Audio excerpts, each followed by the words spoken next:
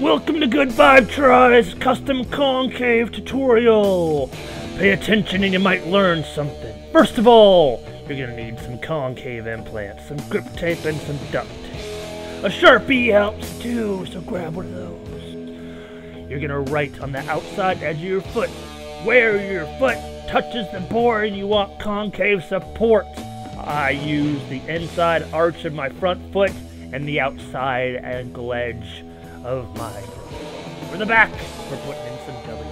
And also a toe stand so we can tuck better. Right.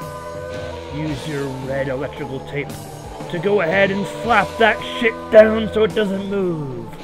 Then, once all your concave is in place, we'll go ahead and take it over to the oven and heat up your grip tape and slap it down. What a sick rug! We're gonna use our electric stove piece of shit from 1974 and heat up our grip tape. Make sure you get all the angles and all the approaches. Dangle it until it's all melty. Boom. Now we're gonna heat up our grip tape again once it's applied to our board. Take the nearest spatula, poke out all the air bubbles so that shit stays flat. Yeah.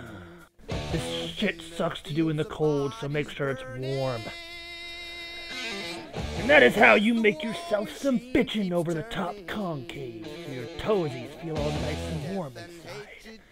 Now go scope out Stay Stoked Grip Tape Company, and RDVX implants are available at originalskateboards.com.